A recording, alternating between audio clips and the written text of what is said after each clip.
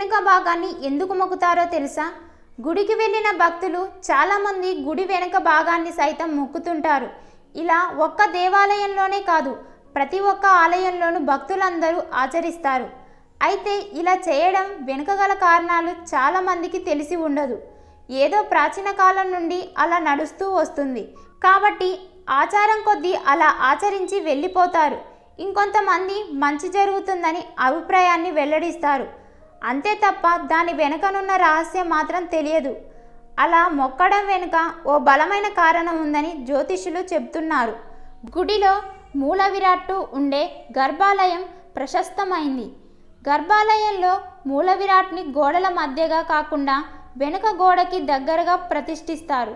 పూజలు నిత్యం మంత్రార్చన చేయడం వలన భగవంతుని పాదపీఠం కింద ఉన్న మంత్రంలోనికి మంత్రశక్తి ప్రవేశిస్తుంది. దీనిలో ఆ విగ్రహానికి ఓ ఆకర్షణ ఏర్పడుతుంది. ఆ మంత్రశక్తి వల్లే భగవత్ విగ్రహం నుంచి తపహా కిరణాలు నాలుగు దిక్కులా ప్రసరిస్తాయి. ఈ మంత్రశక్తికి అత్యంత సమీపంగా ఉండేది గర్భాలయంలోని వెనుక వైపు గోడ.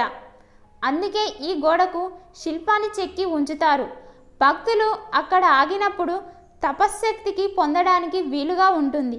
ఇటువంటి విషయాలు మరెన్నో తెలుసుకోవాలంటే కింద కనిపిస్తున్న ఎరుపు రంగు సబ్స్క్రైబ్ బటన్ మీద క్లిక్ చేసి తెలుగు ఇన్ఫో ఛానల్ను సబ్స్క్రైబ్ చేయండి.